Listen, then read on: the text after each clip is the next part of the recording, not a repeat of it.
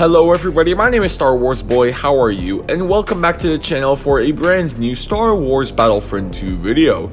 In this video, we will be finally doing guides on each of the four base classes.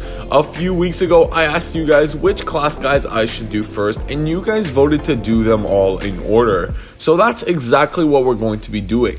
Also, only a small percentage of viewers are actually subscribed, so please subscribe.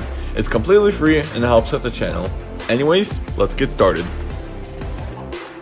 So starting off this 4 episode series with the Assault class, Assaults have a standard health pool of 150 and max health regeneration. Their base weapon skin varied depends on the era and faction you play, but the stats are all exactly the same. The damage per hit is 36 to 19 and the DPS is 180 to 95. The range is quite standard at 20 to 40 meters with an overheat of 25 shots. Now, the most important thing when it comes to any of the four classes is blasters. The first unlockable blaster is the A280, which is unlocked after getting 50 kills with the assault. This is a 3 round burst weapon which is adaptive to all situations. The damage is 33 to 19, but of course, since it's a burst weapon, those stats triple. The rate of fire is 600 rounds per minute with a standard range of 20 to 40 meters. The overheat is 24 shots. Now, the two attachments I'd use for this gun is improved range and improved cooling. Improved range so that the weapon really is more versatile, and improved cooling which allows for 30 shots instead of 24. The next unlockable weapon for the Assault class is the CR2 which can be unlocked after getting 200 kills with the Assault class. Now, the CR2 is a weapon that dominates in very close ranges and has the fastest fire rate in the game. The damage per hit is pretty low, coming in at 16 to 8 with a rate of fire of 900 rounds per minute, which is the highest round per minute in the game. The range is lower, coming in at 15 to 30 meters with an overheat of 50 shots. The attachments I use are reduced recoil and sometimes I put on ion shot. Now, reduced recoil is quite self-explanatory and Ion Shot deals more damage to vehicles and turrets. Now, the reason I only use it sometimes is because Ion Shot mods actually reduce damage by 10%, which is something to be aware of. The third weapon for the Assault class is the EL-16 HFU, which can be unlocked at 400 assault kills. This blaster is suited to longer ranges and is pretty much the opposite of the CR2. The damage per hit is quite high at 49 to 30 with a rate of fire of 200 rounds per minute.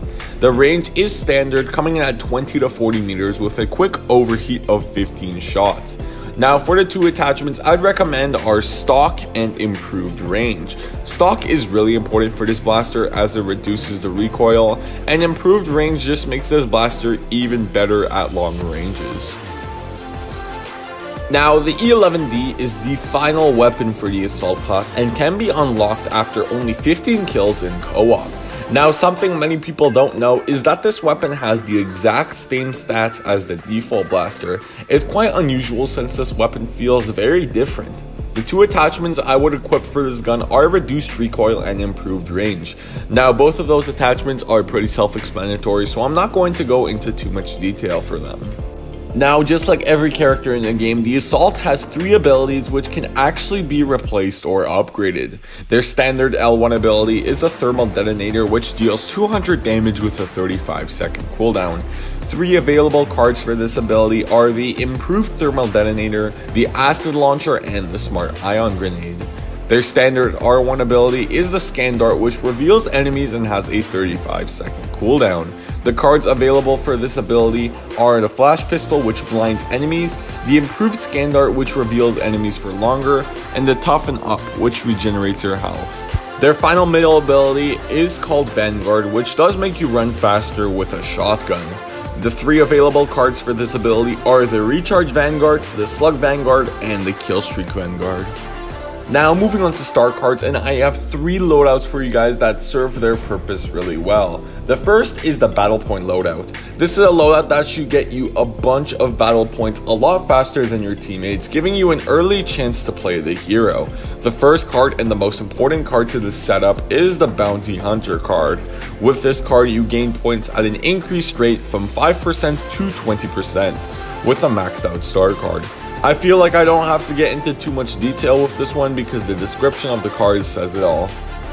The second card is the improved scan dart which stays active for longer, from 10 seconds to 14 seconds with a maxed out star card. The reason so many people recommend this card is because for every kill your teammates get while enemies are scanned, you will gain a, around 100 battle points per kill, which does really add up. The final card is the Acid Launcher, which is also good at racking in points. The cooldown of this ability is reduced from 40 seconds to 32 seconds with a maxed out star card. The Acid is in nowhere as powerful as Bossk's Deoxys, and you probably won't get a kill with it, but what it does well is racking points from people taking damage or dying in the hands of others. You'll get points for all the damage you did and the assists you got. The next loadout is the combat loadout which is designed for basically any trooper mode without an objective like Supremacy and Blast. The first card is the Toughen Up card. This card regenerates your health while the ability is active and has a reduced cooldown from 30 seconds to 22 seconds with a maxed out star card. This card is honestly really useful, simply take cover and use this ability and you will be good to go. The second card is the improved thermal detonator which I'm sure is pretty self-explanatory. The blast radius is increased from 6 meters to 7 meters with a maxed out star card. This improved grenade is great, it has a faster cooldown and a larger blast radius. The final card is the Assault Training card which grants you health on kill, from 20 health to 40 health with a maxed out star card. This card is really helpful in trying to stay alive as if your toughen up is on cooldown, you'll simply gain health for defeating enemies. There have been a bunch of times where I'd exit a gunfight on 30 health and die right after, but this card kinda prevents that from happening. Now the final loadout we have is the objective loadout which should help with the objective while the match's fate is undecided. The first card is Bodyguard. This card reduces damage from explosives and toxins from a 15% reduction to a 25% reduction with a maxed out star card. Whenever I'm on the objective and the enemy team decides it's their duty to shoot as many explosives as they can into that objective. This card won't make you invincible, but it will let you survive a thermal detonator along with other deadly explosives. The second card is the Smart Ion Grenade which detonates near enemy turrets or shields, with a fuse time of 6 seconds to 10 seconds with a maxed out star card. When you're capturing an objective, there is always going to be an enemy with a turret or shield that slows down your capture, but this card completely gets rid of that problem. The final card is the Improved Scan Dart which we covered earlier. The Scan Dart reveals enemies for you and your teammates and wall hacks are just super helpful when trying to defend or take an objective. It will be a lot harder for the enemies to flank if you and your teammates know where they are.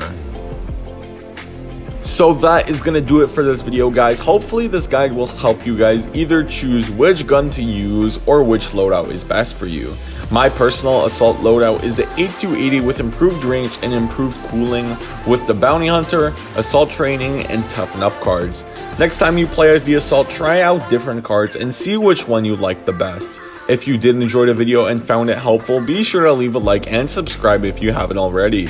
See you guys next time. Bye, and may the force be with you always.